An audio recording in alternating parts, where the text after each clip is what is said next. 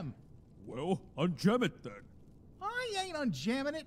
I unjammed it last time. Uh, you wanna tell Skids we got a cooker that ain't cooking? All this gabbing and you could have fixed the jam already. Uh, it sounds like a big tall glass of not my problem, dolt. Chug, you chunk. Doid, you didn't. I hate to interrupt your, uh, tete-a-tete, but we're here to look over your goods. Mm, go away. We don't have no potatoes. Not Tatos, Doid. Tatas. Only the boss lady has those, and they ain't for public viewing. Trust me, I tried. Uh, no, we're here to speak with Skiz. We're looking to open up some business between us. Oh. Skiz will like business. Yeah, I'll go tell her.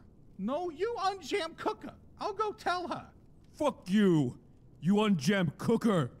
Guys, guys, how about this? I will go and tell her you both did a wonderful job at not only guarding the door, but also convincing us to pay more for whatever you have in stock. How does that sound? Yeah, okay. yes, yeah, yeah, yes. Sounds good. Mm, yeah, mm, yeah, yes, yeah, I Both agree. is good. Yeah. I'm sorry, Doid. I'll unjam cooker.